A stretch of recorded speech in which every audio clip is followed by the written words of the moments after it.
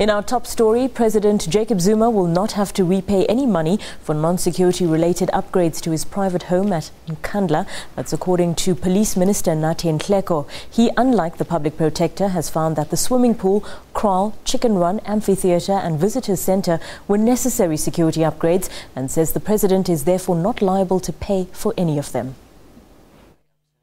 It's been four long years and many debates over whether or not President Jacob Zuma and his family had indeed unduly benefited, as per the public protector's findings, from the 246 million rand security related upgrades to his private home. Now, Police Minister Nathi Nhleko hopes to put the matter to rest. He's found that the swimming or fire pool, kraal, chicken run, amphitheatre and visitor centre disputed by the public protector are in fact necessary security features. Accordingly, the state president is therefore not liable to pay for any of these security features. He adds that due to all ongoing investigations into Nkandla, other crucial security features had to be delayed. Further security upgrades will now need to be completed as soon as possible. The outstanding security related work at Nkandla should be funded and completed expeditiously, including the re evaluation of the current physical security measures. In this instance, the laws and prescripts are to be followed to the letter. The ANC has welcomed the report. For us, uh, the, as you might be aware, the report is in the hands of the Speaker, and uh, it uh, now uh, paves the way for the creation of a parliamentary mechanism to consider it. Some opposition parties say they are disappointed. We think this report is a whitewash. We think that it covers, it was written by a minister whose sole objective is to protect the president.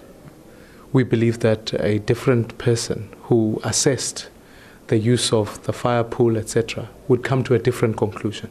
Therefore, we will be tabling to see what, what happens with the, with the ad hoc committee. Furthermore, we've written to our lawyers. Our lawyers are considering what action we can take because we believe ultimately the president must account for this issue. So, and whilst we appreciate the president does require a degree of protection, the exorbitant expenses that have been incurred are totally unacceptable, and we now hear that there will be further expenses which still need to be calculated. What came out as the report today is an insult to the people of the Republic of South Africa. And at any rate, it was expected to come out as it did because it's a report where the president had commissioned uh, an honorable member who is a member of his executive to actually check on recommendations from him. I mean, which member of the executive can find his boss guilty? It has left us with a whole host, a bouquet of questions than answers that the public expected. It was not for the minister to decide whether the president has to pay or not. That determination had already been made by the constitutionally empowered person, uh, the public protector. The issue was to determine how much was to be paid for those items which were clearly not security related. We have to look at some alternatives. We will have to go through the ad hoc process, most probably, um, and get that behind us. I have no expectations that that will be any different from what we've seen in this report by the Minister. Meanwhile, Public Works Minister Thulas Nxesi says disciplinary actions against 11 government officials implicated in improper actions on Nkandla have been delayed as they await the outcome of a High Court decision. We are ready to proceed with the remaining 11 matters affecting those 11 officials. And we await the conclusion of the High Court proceedings.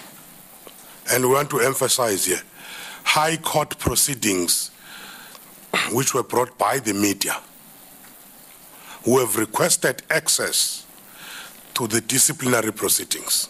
The report, which has now been tabled in Parliament, will be referred to the ad hoc committee on Nkandla, which is expected to sit soon. Lukhanyo Calata, SABC News, Parliament. Let's continue with the reaction to Nathi Nhleko's uh, report. Let's take a look at Twitter and see what's coming through. Mbuyiseni Ndlozi tweeted saying, EFF long warned that when Nhleko comes to speak, he will cook the Nkandla report. Now we are told that a swimming pool is a security feature.